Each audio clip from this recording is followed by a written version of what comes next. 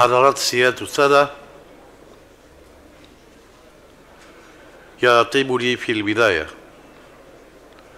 أن أتوجه بخالص الشكر لكم على إسهامكم في دعف مسيرة عملنا المشترك وحسن تعاونكم خلال فترة رئاسة الجزائر للدورة السابعة والأربعين بعد المئة. لمجلس الجامعة الوزاري.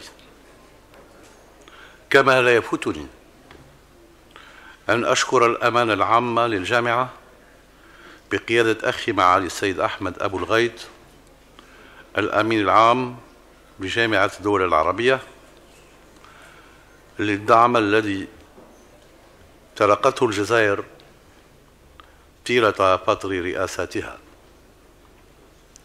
أصحاب المعالي والسعادة السيدات والسادة. حرصت الجزائر. خلال ترأسها للدورة السبعة وأربعين بعد المئة لمجلس جامعة الدول العربية.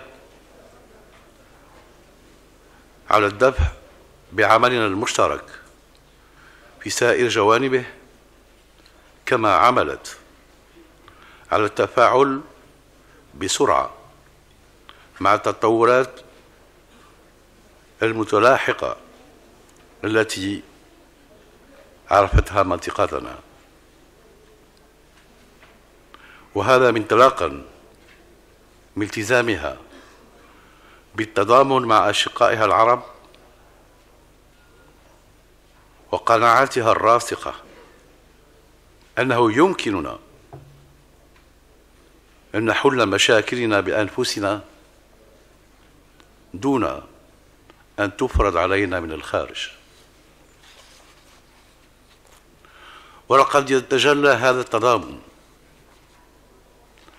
خلال الاجتماع الطارئ لوزراء الشؤون العرب المنعقد يوم 27 جويليا 2017 طلبا من المملكة الأردنية الهاشمية بصفتها رئيسا للقمة وهذا لتصدي الانتهاكات الإسرائيلية ومخططها مخططها لتهويد المسجد الأقصى من خلال حشد الرأي العام الدولي للضغط على دولة الاحتلال وجعلها تتراجع عن محاولتها في تغيير الوضع القانوني والتاريخي القائم في المسجد الأقصى. وأبرز هذا التصعيد الإسرائيلي. ضرورة التركيز على القضية الفلسطينية. وهي قضيتنا العربية الجوهرية. ونؤكد بهذه المناسبة. دعمنا الكامل للشعب الفلسطيني الشقيق حتى نحقق هدفنا المشترك.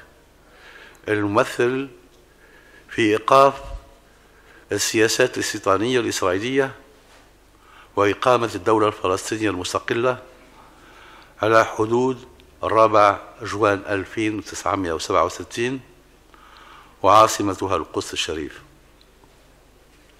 أصحاب المعالي والسعادة السيدات والسادة.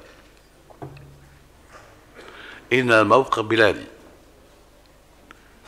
الثابت المتجدر والنابع من السياسة الرشيدة. لفخامة رئيس الجمهورية السيد عبد العزيز بوتفليقة المنبثق عن احترام السيادة الوطنية لكل دولة وعدم تدخل في شؤونها الداخلية والعمل على تسوية النزاعات بالطرق السلمية والسياسية.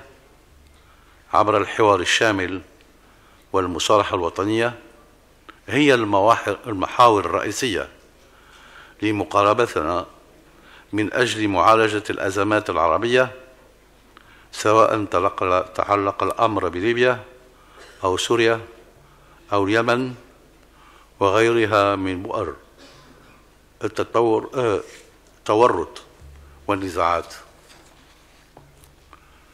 سيداتي سادتي موازة مع العمل على إنهاء الصراعات التي أرهقت منطقتنا أود أن أؤكد على ضرورة توحيد الجهود العربية والدولية لمواجهة آفة الإرهاب بلا حدود من خلال استراتيجية موحدة شاملة ومتكاملة تهدف القضاء على الإرهاب والفكر المتطرف الذي يسنده وتجفيف منابع تمويله لا سيما من الأنشطة المرتبطة بالجريمة المنظمة.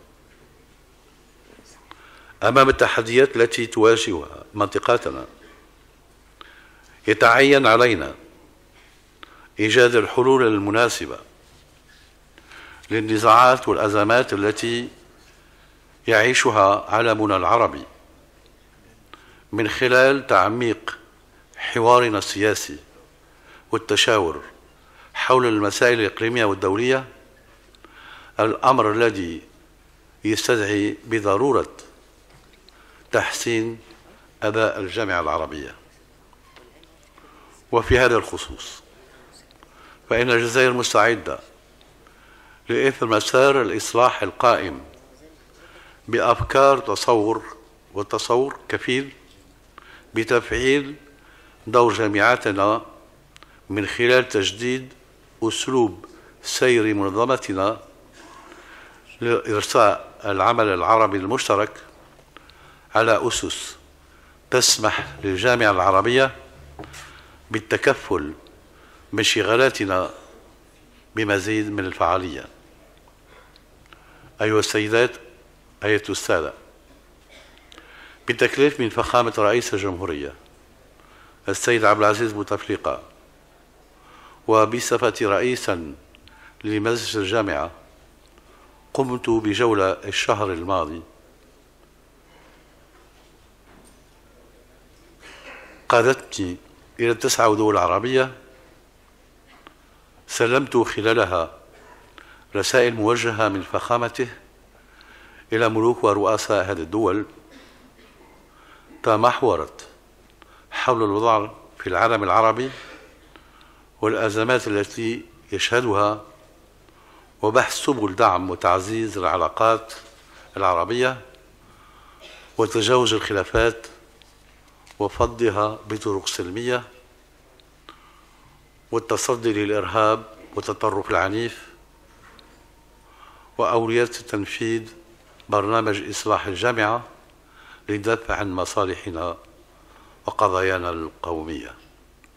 وفي هذا الخصوص التمست الأهمية التي نوليها جميعا لموضوع الإصلاح والالتزاماتنا